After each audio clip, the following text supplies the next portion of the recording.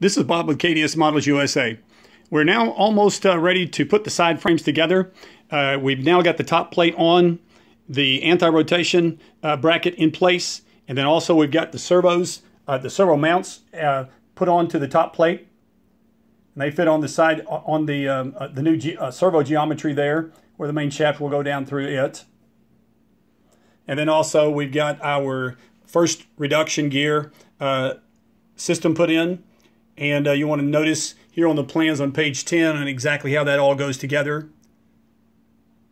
And uh, make sure that you have a washer that will go on the top of the, uh, uh of the assembly.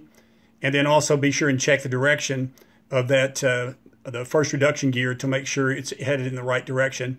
And it does show you on the blueprints how that goes. So we're just about ready to uh, put these side frames together. And I hope this is a help to you. Thank you.